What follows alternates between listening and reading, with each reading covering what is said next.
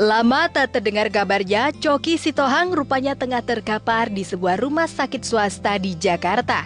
Ia terpaksa meninggalkan aktivitas di dunia hiburan karena harus menjalani operasi lutut kanan yang cedera saat bermain basket pada 2005 silam. Kala itu Coki tak langsung mengobati lututnya lantaran belum punya biaya. Namun mau tak mau, kini ia harus menjalani operasi yang sudah ditundanya selama hampir enam tahun sebelum sang istri Melisa Aryani melahirkan anak pertama mereka. Dan begitu lompat, lutut saya mengalami twisted atau twisting berputar seperti ini. Stas gitu. Kalau pemirsa lihat seperti ini.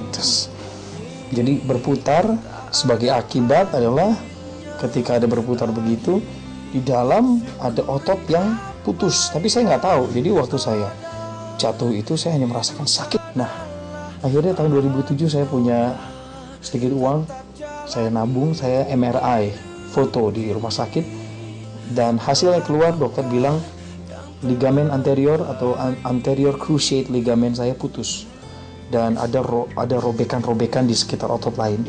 Kenapa sampai menunda selama ini? Karena waktu 2007 saya ke dokter ke rumah sakit dan dibilang dokter obatnya hanya satu yaitu operasi.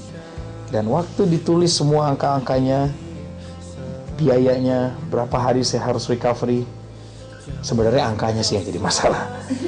Waktu itu belum ada biaya sebesar itu untuk untuk uh, mengcover atau untuk membuat operasi ini berjalan begitu kita dengar persis suara Tuhan ngomong lewat hati kita lewat orang-orang yang kita kasihi Coki harus operasi sebelum anak lahir nanti kalau nggak repot gitu loh itu alasannya Cedera lutut kanan yang dianggapnya sepele rupanya berdampak negatif bagi Coki.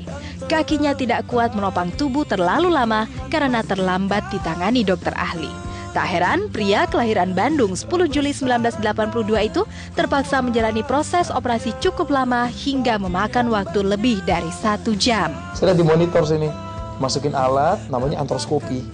Masukin alat, jadi kita bisa lihat dalaman kita semua tulangnya, ototnya yang robek, otot-otot halus itu semua ada di sana. Kelihatan lemak-lemaknya yang diserap, kemudian ditunjukkan dimasukkan daging ke situ. Saya pakai alograf. Alograf itu sebuah teknologi baru. Saya pakai daging punya orang lain yang sudah diproses di luar negeri, aman dan bisa masuk ke dalam bagian tubuh kita dan cocok di dalam. Alograf itulah yang menggantikan otot ligamen anterior